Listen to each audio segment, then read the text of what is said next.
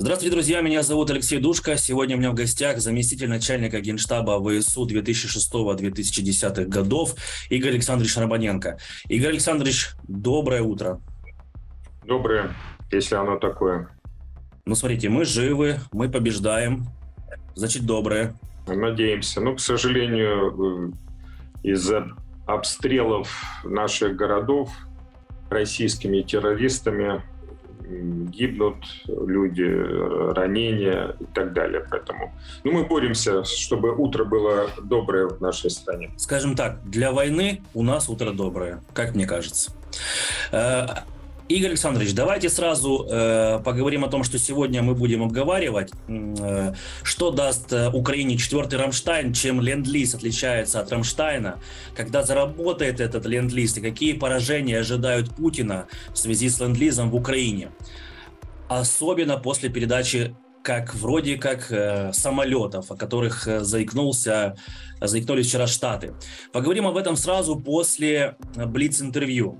Готовы к Блиц-интервью? Конечно. И вопрос первый. От армии Беларуси уже не стоит ждать наступления? Э, возможность не надо исключать. Почему? Потому что э, россияне готовят свои резервы, в том числе, например, танковый корпус. И в случае э, его формирования, подготовки и заведения в Беларусь, будет э, актив, возможность реальное э, действие, соответствующее севера. Поэтому мы пока держим определенные там силы и контролируем с помощью нашей союзников разведки за этой ситуацией. Это будет армия Беларуси или это будет армия России с, со стороны Беларуси? Э, если такое случится, то, скорее всего, э, будет армия России однозначно. А насколько Белоруссия, настолько к этому моменту сможет ли Путин окончательно додавить Лукашенко для того, чтобы это произошло. Если они будут наступать, то по какому направлению? Киев, Луцк, куда пойдут? На Киев сложно, хотя авантюрно можно и на Киев, для них сложно. Э, поскольку у нас серьезная сейчас оборона, но и по другим направлениям тоже. Но, скорее всего, Путину здесь надо показать э, как минимум какие-то действия для пересечения поставок Запада э, в Украину, что они неоднократно декларировали. Какое количество хаймерсов позволит ВСУ наступать? Смотря какое наступление надо иметь в виду. Если наступление на юге э, по освобождению Херсонской, Запорожской областей, а также приостановление наступления российского на восточной оперативной зоне и отодвинуть э, российские войска от Харькова, чтобы они не доставали э, город хотя бы ствольной артиллерии, ну, а лучше э, реактивные, то их должно быть более, больше сотни ну а сейчас, как известно, около 20. А если это имеется в виду э, организация проведения контрнаступления по очищению полностью нашей территории от э, вооруженных сил противника, то их должно быть э, где-то 250-300. А ну, там будет? в совокупности должно быть бронированных машин около 2000, гаубиц около 1000, Э, дронов «Камикадзе» около тысячи, э, танков около 500. Э, то есть по совокупности одними «Хаймерсами» вопрос по выбитию, разбитию вооруженных сил Российской Федерации не решишь. А столько будет техники? Может и будет весь вопрос, когда. Если конец будет близок, Путин решится применить ядерное оружие? Такая возможность не исключается, но на текущий момент э, вряд ли. Ракетные это удары надо, по Ви... Это да. надо иметь в виду, что он сделает тогда, когда э, будет очевиден его проигрыш, э, а проигрыш может быть э, воспринят э, его окружением как его политический конец, а возможно не только политический. А можете назвать три признака, что такое проигрыш Путина? Проигрыш Путина – это проигрыш вооруженных сил Российской Федерации в Украине. И это один и главный, не надо трех. Хорошо, а что такое тогда, объясните, что такое проигрыш Российской Федерации, войск Российской Федерации в Украине? Это какое-то конкретное... Э... Значит, э, разбивается на две задачи. Ближайшая задача – это восстановить э, контроль э, как до 24 февраля. Дальнейшая задача – это на 91 год освободить территорию от россиян. Вот давайте о современном оружии поговорим какой ад оно может устроить российской армии, э, когда приедет в Украину. И вот давайте по порядку. Объясните мне простую вещь. Чем отличается вот формат Рамштайн от Ленд-Лиза? Только вот простыми словами, э, что нам поставляют оттуда и оттуда? Или как? В чем разница? Почему одно лучше, другое хуже или одинаково? Э, это, естественно, это не одинаково. А, но э, ленд-лизовская иллюзия существует, что вот э, ленд-лиз когда-то начнет действовать, и значит, тогда будут массовые поставки. Ленд-лиз – это инструмент в руках президента Соединенных Штатов, которым он может пользоваться уже сейчас, а может не пользоваться в полной мере. А вот в полной мере это пока не происходит. А, раз, это первое. Рамштайн – это привлечение, то есть это э, касается Ленд-Лиза, э, организация помощи финансовой и военной э, президентом Соединенных Штатов Америки. То есть благодаря подписанному закону он имеет возможность быстро и эффективно это делать. Пока мы этого не видим.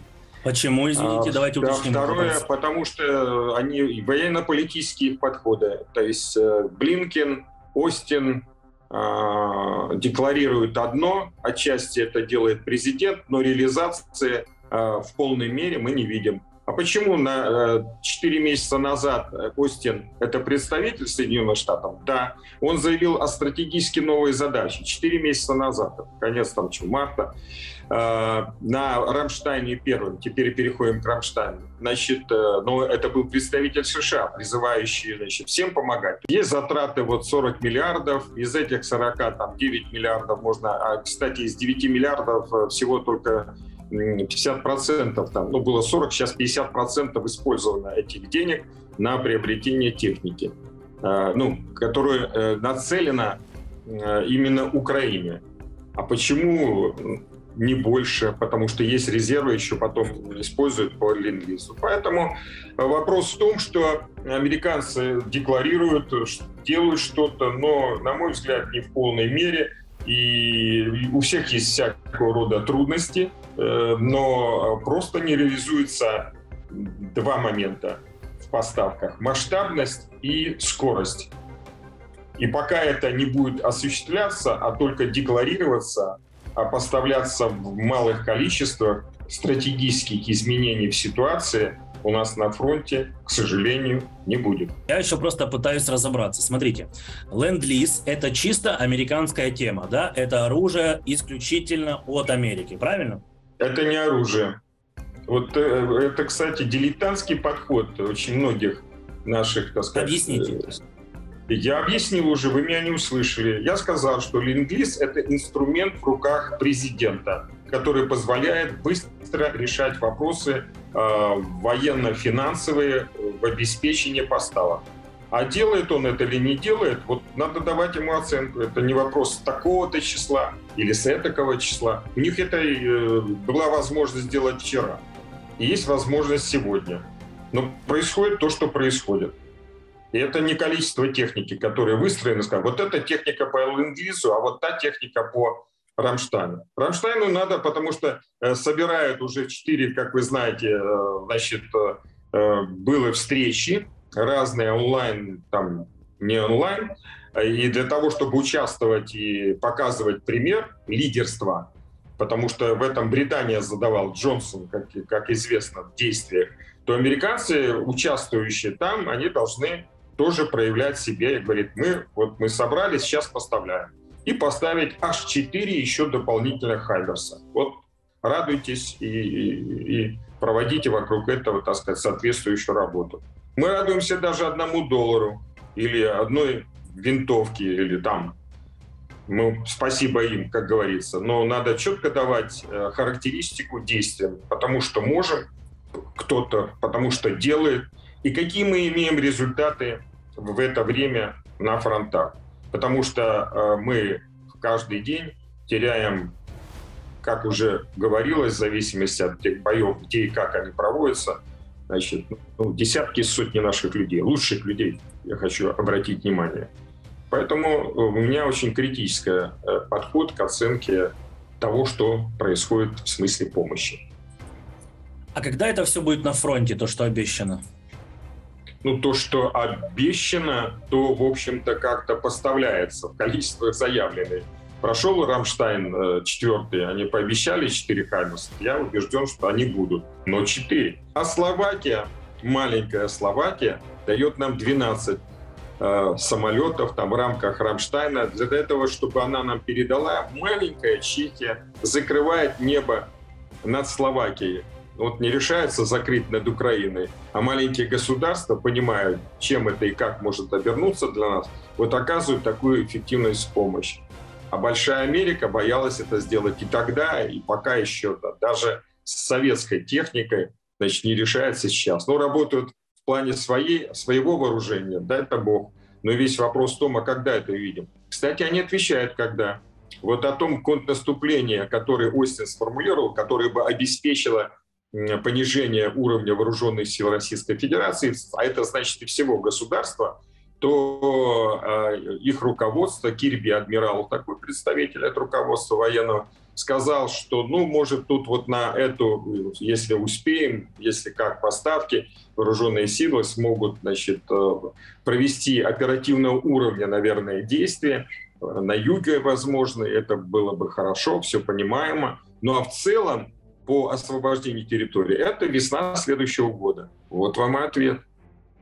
То есть раньше можно было бы, мы готовы, то есть по поставкам были бы, мы подготовились уже бы и сейчас, потому что до весны следующего года достаточно время, и если будет продолжаться война, а не решится вопросы нашей победы раньше, то дальше будут погибать в первую очередь наши военнослужащие, а также и цивильные от бомбардировок, ракетных ударов и всего остального. Проигрывает их действия в том, что Путин ставит политические задачи, не учитывая военные возможности. И раньше или позже, ну, во-первых, они уже расплатились за такой подход э, провальной первой стратегической операции «Блицкрик», именно поэтому.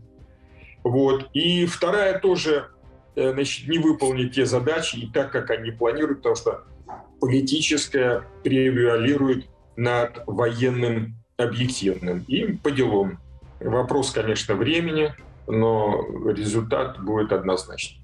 И в целом э, стратегические вооруженные силы Украины и здесь тоже выиграют. Вопрос по времени. Получается, что пока Рамштайн, по Рамштайну нам дали больше э, возможностей, чем по ленд-лизу.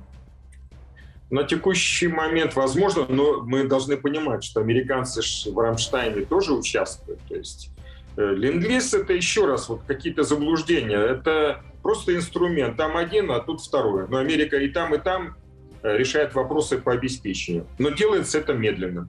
Вот и ответ. Просто мне интересно, по какому из принципов может действовать быстрее? По Рамштайну или под ленд-лизу? Э, Потому что по мне хочется, принципу, чтобы... По принципу, что если поставить задачу, то есть они задачу поставили стратегическую 4 месяца назад, а потом за ней должно быть не просто декларирована эта задача, а ее реш... логистическое обеспечение. А на уровне этой задачи нет стратегического обеспечения, даже оперативного нет обеспечения по выполнению предыдущей задачи для вооруженных сил Украины. Это значит Э, успешно закончить оборонительную операцию. Мы с вами обсудили, что это значит на 2500 километров э, остановить продвижение российских войск.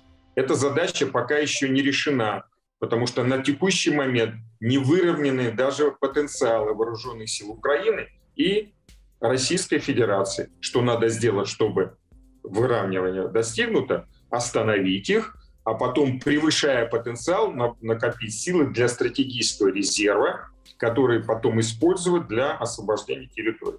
Поэтому американцы, видите, уже по заявлениям их представителей, военно-политические, выстрелили все это аж до весны следующего года. И там ответы на поставки. Они от формы, то ли это Рамштайн, то ли это Ленд-Лиз. Это зависит от принятия решения, в первую очередь, политического, ну и потом обеспечения выполнения этого решения.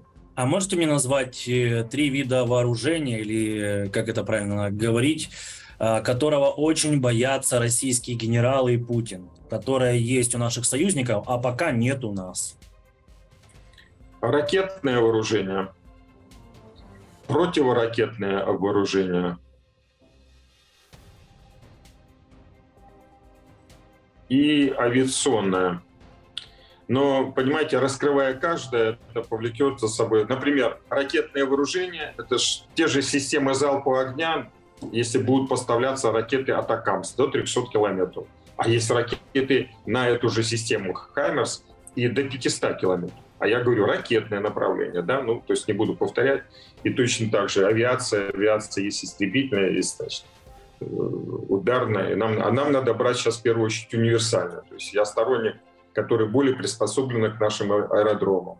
Это не F-16, там, маленький, с малым радиусом действия боевым, а, например, F-18 в совокупности с F-15 последней модификации. Вот пока надо такую, и даже не А-10, что, потому что А-10 применялся успешно в Иракской войне, штурмовик, э, да, в связи с тем, что э, было небо, они господствовали в небе. А здесь у нас не так опять-таки говоря о том, что они превосходят нас, не, они не господствуют над Украиной, но превосходят нас в авиации в разы, в артиллерии в разы. Вот э, это надо менять. И быстро надо менять. Когда Украина вернет свои территории, война окончится или Россия будет еще нападать? А что понимать под войной? То есть э, наступит перемирие, а это еще не мир. Э, Япония с Россией со Второй мировой войны не в состоянии мира. Сколько времени прошло? Мир наступит с Россией только тогда, когда будет смещен путинский режим и не придет аналогичный, и изменена социальная ситуация в самом этом государстве. Стена на границе с Россией поможет сдержать агрессию России в дальнейшем? Да нет, это Яценюка иллюзия для того, чтобы там потратить деньги. Это стена, сеточка, ничего она не загораживала ни в 2014 году, ни... Э, это э, решение пограничных каких-то вопросов по проникновению иммигрантов или нарушения. С точки зрения военной она ничего не дает. Даже бетонная стена? Даже бетонная это легко разрушается, делается пробоины в этих стенах, и дальше решается так, как надо с военным. То есть стена — это не средство военного остановки.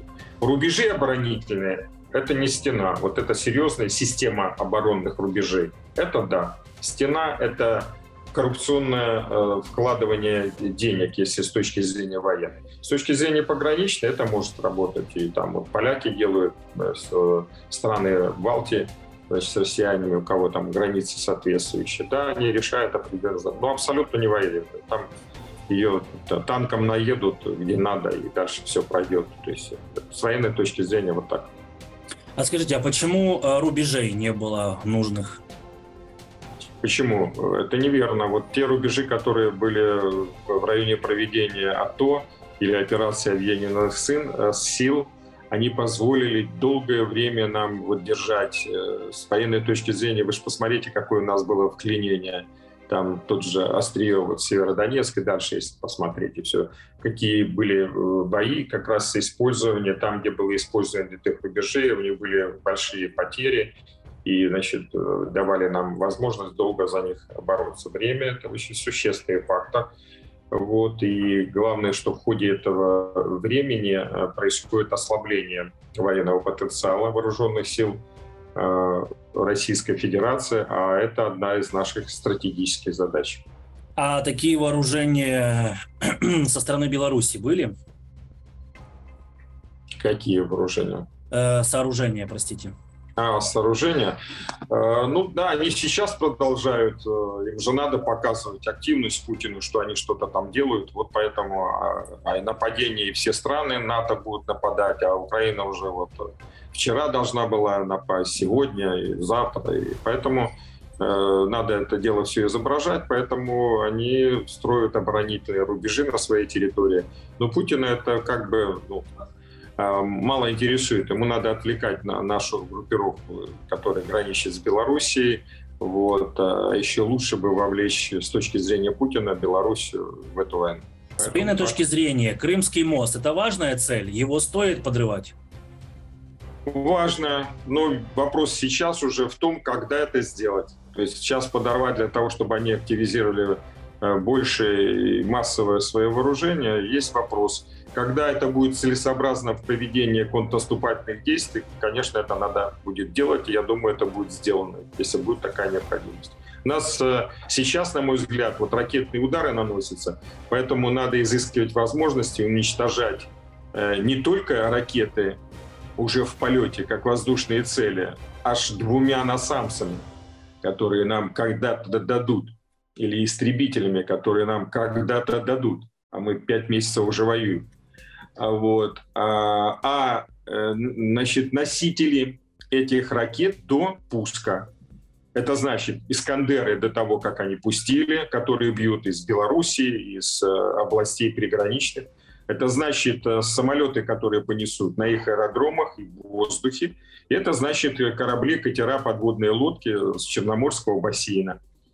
То есть вот у меня подход такой, что в очередности по нашим возможностям. Поэтому возможности наши надо в этом смысле расширять. И уже можно ловить и уничтожать э, корабли и лодки в Черном море, независимо где бы они были. Э, ну, американцы У нас уже есть такое оружие? Что, э, ну, гарпуны есть, гарпуны есть, нептуны есть. Там, какое их количество и как. И вопрос, когда это делать. А Москва как потопили? Красиво. Как? Красиво. Вот надо красиво дальше топить остальное. Сколько стоит жизнь русского солдата для Кремля? Ну, я в рублях или в долларах, думаю, не измерять, однако очень мало, поскольку у них такие, э, такое обращение, и это видно потому, как они их бросают значит, э, в ходе организации ведения боевых действий. А еще меньше стоят э, те граждане украинские, которые э, ловятся на оккупированных территориях и бросаются в бой впереди этих мало чего стоящих российских солдат. Поэтому у нас другое отношение к своим солдатам, и это правильно, мы этим гордимся, мы их ценим. И Путину поэтому... все равно, что будет с его солдатами, а российским генералам да. на фронте тоже наплевать на своих ребят? Ну, совсем наплевать э, э, я бы не сказал так. Им надо задачи выполнять, и поэтому многие из них таким образом себя ведут. Но, с другой стороны, они понимают, что такое отношение не позволит им достигать своих военных задач. И в связи с этим, поскольку это не склеивается, у них не получается, то они лезут на передовую, из командных пунктов удаленных это не получается решать. Залезает, наводится пасть по рву, мигала, выколю порядок э, значит, на нулях, и там гибнут. Или там собирая для разносов на пунктах управления, работает наша разведка, э, вот работает после этого или в ходе прямо в разведке, в онлайн, определяется местоположение пунктов управления, наносятся удары и снова гибнут вот эти генералы, которые как бы Э, он бы наплевать хотел бы на этих солдат, но так не может, потому что эти солдаты должны будут выполнять задачи. И вот он должен найти какие-то дела. Личным примером там есть э, командиры разного уровня показать, гибли от чего. Вот. Но э, вот их ждет такая судьба, потому что они ввязались в несправедливую войну со всеми последствиями для их, их вооруженных сил и их народа. И это справедливо. Скажите, а русский солдат может поднять бунт против русского генерала? Может. Э, если сложатся современные условия. Кстати, сейчас интересный момент. а, у них заканчиваются короткие контракты, то есть после начала, ну сначала они, в общем-то, им не надо было, потому что Блицкрик, будет победа, парад будет там, по Крещатику, все остальное. А когда все это развеялось, значит, они поняли, что надо набирать, э, призывников давлением переводили в контрактники, хотя бы на короткие сроки, так называемые от трех месяцев эти контракты. Они заканчиваются, и посмотрев и разобравшись, эти военнослужащие хотят возвращаться домой, а их делают э, преступниками, э, применяя все незаконные меры в нарушение своего даже там, э, законодательства. Э, вот. И поэтому возмущения растут, в том числе и семей, матери, как известно, все.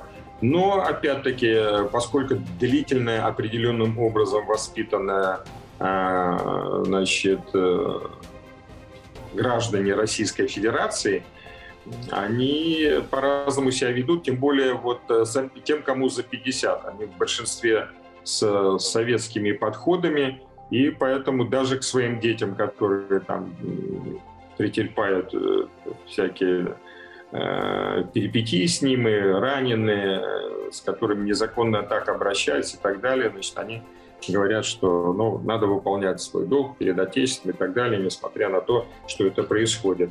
А молодежь до 30 лет, видя, что просто те хотя бы возраст призывной их подняли, но все равно понятное дело, что в первую очередь воюет молодежь до 30 лет.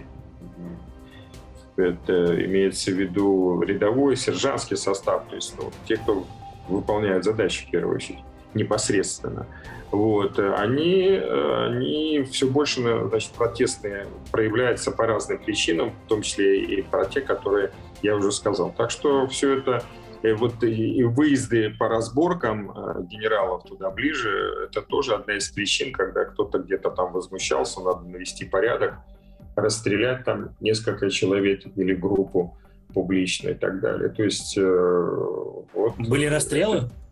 Э, это имеет место. Но про них они, конечно, закрывают, не говорят, но отдельные, конечно.